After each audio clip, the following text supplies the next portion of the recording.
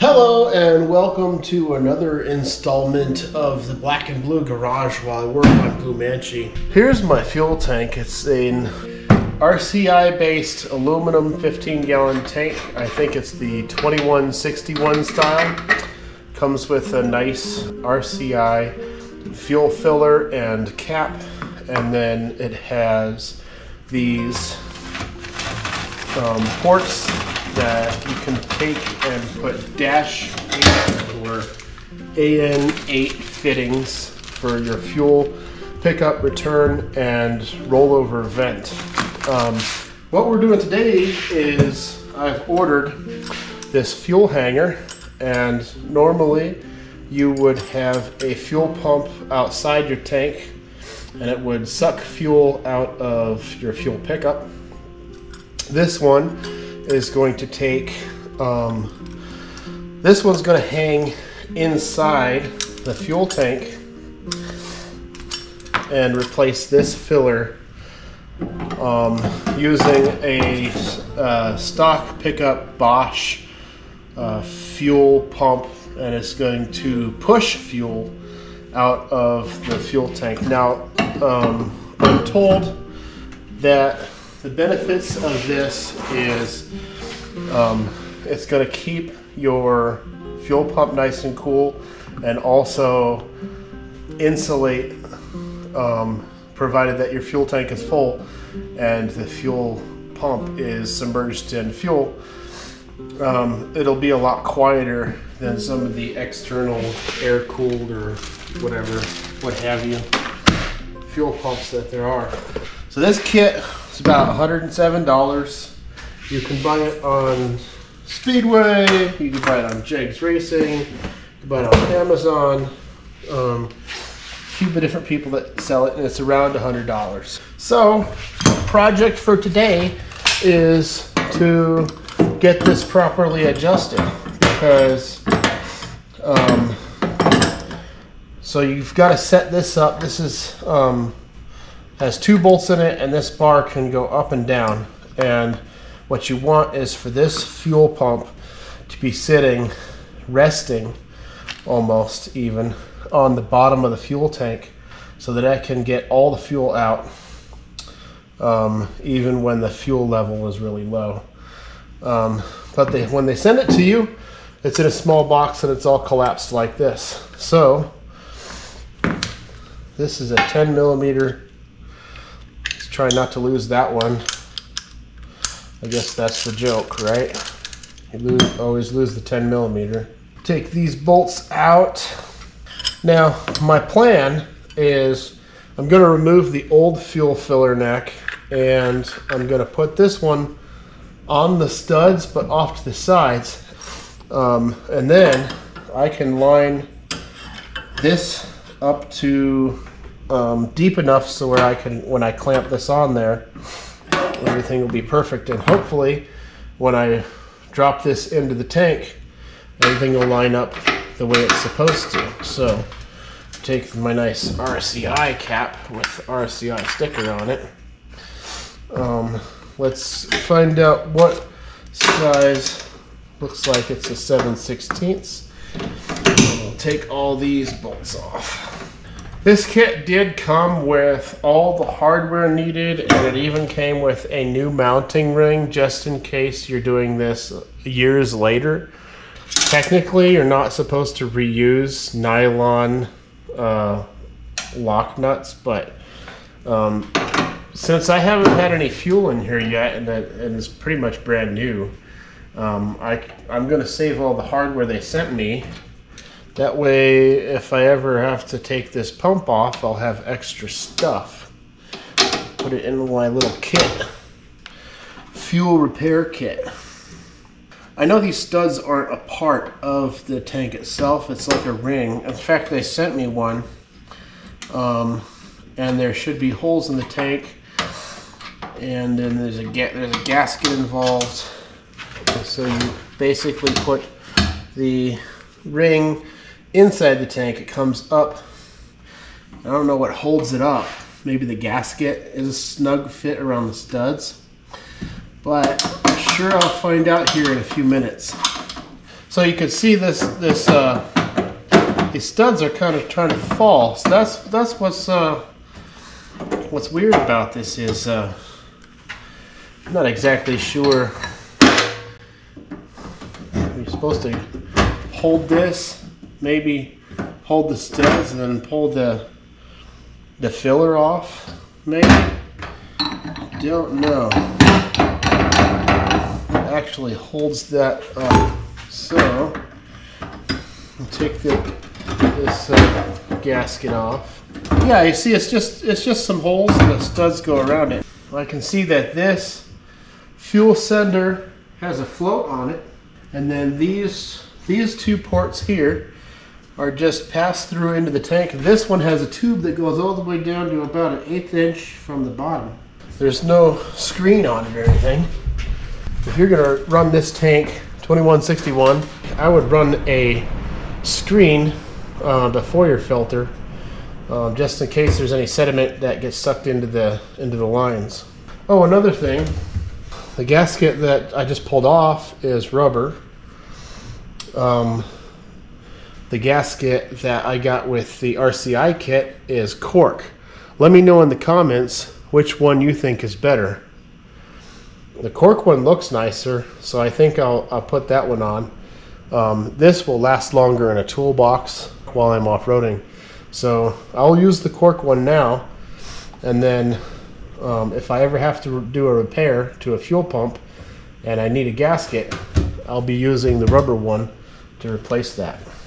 You want to do some kind of zinc coated or um, electroplated hardware inside your fuel tank because you never know um, what is going to wear off the steel hardware and cause them to rust or deposit any kind of uh, marginal amount of chemical into your fuel.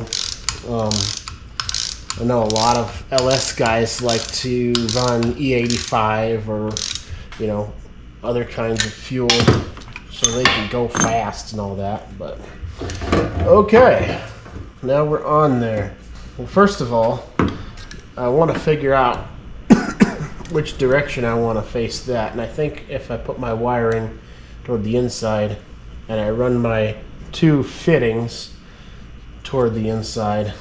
I haven't really decided where I'm mounting the tank yet, so it's hard to decide which orientation to mount this fuel filler neck. So one can be for fuel supply and one can be for fuel return and then we'll use the rollover vent by itself and cap these two off. So I think if I if I mount this like that, um, my fuel lines can tuck down behind the back of the tank, or it would be the front of the tank. And then if I decide to remotely fill this from the side of the truck, um, it could come down and capture the top of this. Take a paint marker. I'll mark that hole and that hole.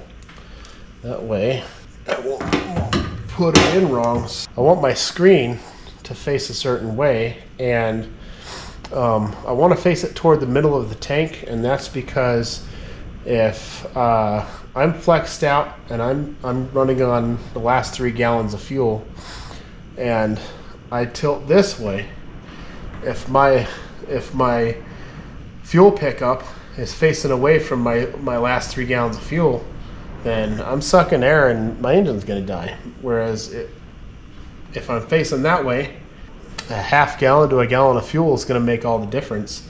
And I'm still in business. So I'll have to get a longer fuel line because this is what came in the kit with the fuel pump.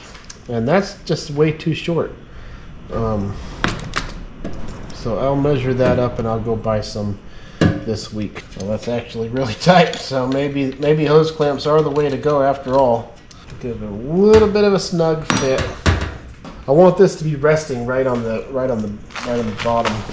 When I pull it back out again, I know that'll be at the right height. With this fuel pump a little bit loose, that should that should lift it up to where it's where it needs to be. All right, let me show you a trick. Get you some, some zip ties. Pull this ring all the way up. You want to get your zip tie around one or two of these studs. Two is better because um, then you're able to cut right between the studs. And that'll hold everything up. Put this where I think it should go. And I will put two lock nuts and then we'll go in and, and uh, cut those zip ties without cutting the uh, gasket. Pull those out of there. I'll have to fight with these studs. Maybe, maybe my, I just have giant hands. Also, if you cut upward, cut away from your gasket. Already tell that that fuel tank hit, that fuel pump is hitting the bottom of the tank before we push this down. So if I tighten these nuts, I'll know um, because we snugged up on that hose clamp that that fuel pump is going to be the perfect height and then I'll tighten that hose clamp put the second one on there uh, we'll get a longer fuel hose from advanced auto parts or something and this thing will be ready to mount permanently. And now we can just take it back out and tighten everything back up. Okay so let's tighten this up before it moves. Get this. Get the second one. We as long as we keep one hose clamp tight we can move the other. But I think I'll spread these out once I get this one tight you know at first the hose clamps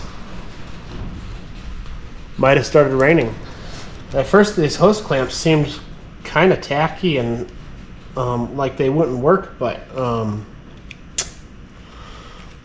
they're holding this thing on pretty strong okay back from the store just got uh, two different size fuel lines because I forgot to bring the little short one. Looks like it's this size. Here's my problem though, because um, on this fuel pump, this hose fits the best on this fuel pump.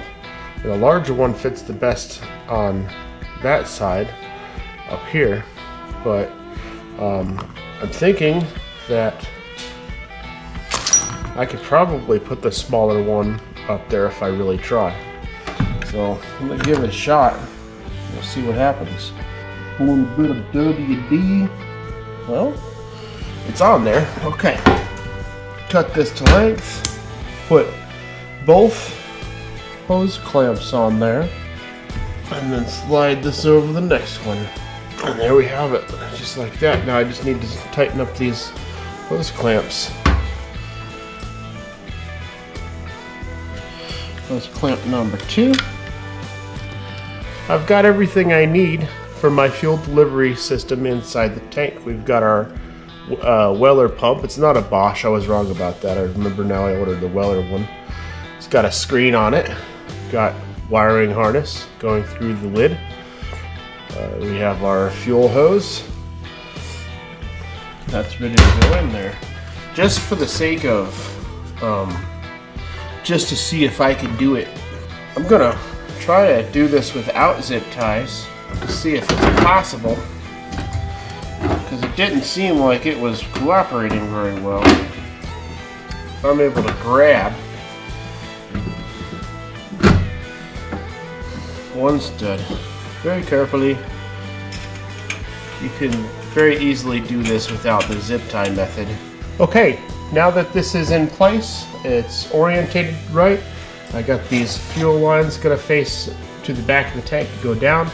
I've got my wiring harness gonna go to the back of the tank.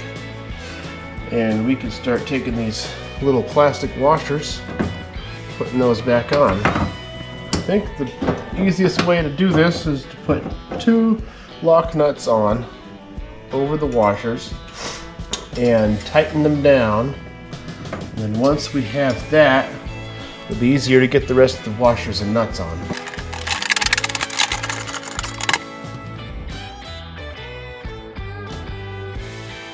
These little plastic washers are pretty easy to push down with a socket.